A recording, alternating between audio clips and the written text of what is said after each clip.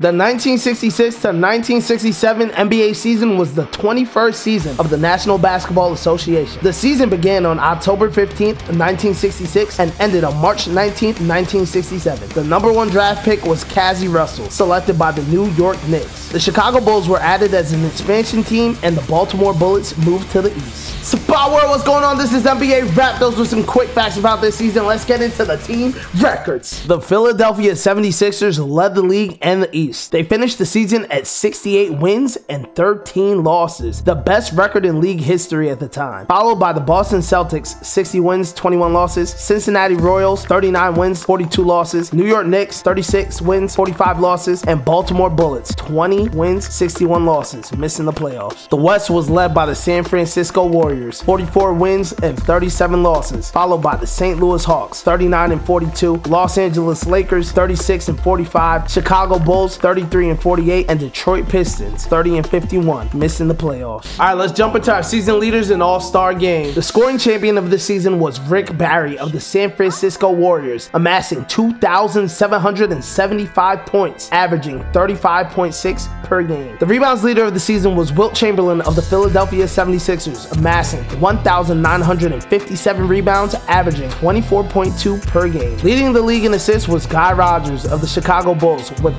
908 averaging 11.2 per game. The 1967 NBA All-Star Game was the 17th All-Star Game. It was played on January 10th, 1967 at the Cow Palace in Daly City, California. Riding a four-game losing streak in the All-Star Game, the West snapped out of its funk behind a monstrous scoring performance from Rick Barry. Barry pumped in 38 points on 16 for 27 shooting to win MVP honors as the West defeated the heavily favored East 135 to 120. This was widely acknowledged to be the greatest upset in the history of the event. It was the lone All-Star MVP in Barry's career, and his 27 field goals made set an All-Star game record. The game also saw the ejection of Eastern Conference head coach Red Auerbach in what would be his final NBA season on the bench. He became the only coach to be ejected in an All-Star game. The Eastern Conference stars were Hal Greer, Wilt Chamberlain, and Chet Walker of the Philadelphia 76ers, Willis Reed of the New York Knicks, Bailey Howell, Bill Russell, and John Havlicek of the Boston Celtics,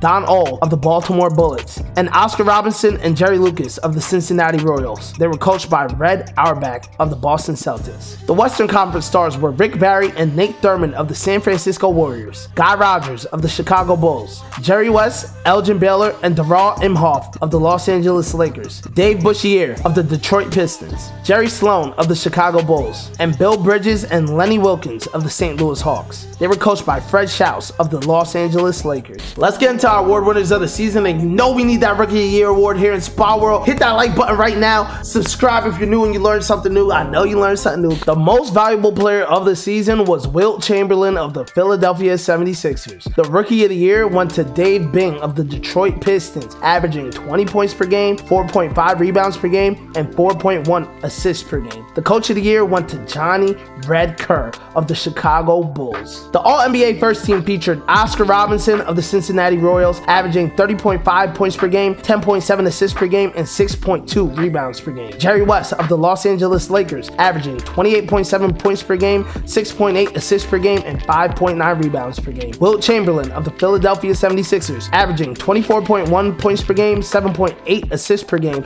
and 24.2 rebounds per game. Elgin Baylor of the Los Angeles Lakers, averaging 26.6 points per game, 3.1 assists per game, and 12.8 rebounds per game. And Rick Barry of the San Francisco Warriors, averaging 35.6 points per game, 3.6 assists per game, and 9.2 rebounds per game. On the All NBA second team, we had Hal Greer of the Philadelphia 76ers, averaging 22.1 points per game, 3.8 assists per game, and 5.3 rebounds per game. Sam Jones of the Boston Celtics, averaging 22.1 points per game, 3 assists per game, and 4.7 rebounds per game. Bill Russell of the Boston Celtics, averaging 13.5 points per game, 5.8 assists per game, and 21 rebounds per game. Jerry Lucas of the the Cincinnati Royals, averaging 17.8 points per game, 3.3 assists per game, and 19.1 rebounds per game. Willis Reed of the New York Knicks, averaging 20.9 points per game, 1.6 assists per game, and 14.6 rebounds per game. Making the NBA All Rookie First Team was Jack Marin of the Baltimore Bullets, Dave Bing of the Detroit Pistons, Erwin Mueller of the Chicago Bulls, Lou Hudson of the St. Louis Hawks, and Cazzie Russell of the New York Knicks. The 1967 NBA playoffs began on March 21st. The expansion Chicago Bulls made the playoffs in their debut season, and the New York Knicks returned to the postseason for the first time since 1959. The 1967 NBA playoffs marked a change in the league's playoff format. Every tournament since 1955 had given the top ranked team in each division a first round bye, but starting this season, the NBA upped the number of playoff teams to eight, thereby eliminating a first round bye for the regular season division champions.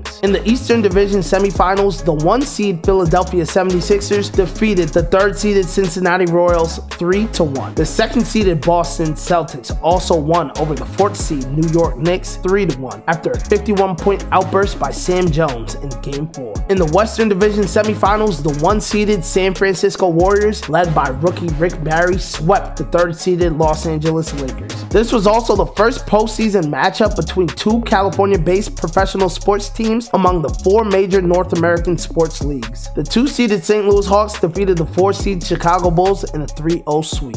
Meeting in the Eastern Division Finals were rivals Philadelphia 76ers and Boston Celtics. After a series of historic individual performances by Wilt Chamberlain, including a quadruple double with 24 points, 32 rebounds, 13 assists, and 12 unofficially counted blocks in Game 1, as well as a 41 rebound game in Game 4. In Game 5, the 76ers won 140 to 116 to snap Boston's NBA record playoff series winning streak at 18 and their championship reign at 8 years. The San Francisco Warriors were able to rely on their star players Nate Thurmond and Rick Barry to win the series 4-2 over the St. Louis Hawks and make it to the finals. The 1967 NBA Finals began on April 14th, featuring the Philadelphia 76ers versus the San Francisco Warriors. This was the first championship series in 11 years without the Boston Celtics. Games 1 and 2 saw the 76ers defend their home court 141 to 135 in an overtime win in game 1 and 126 to 95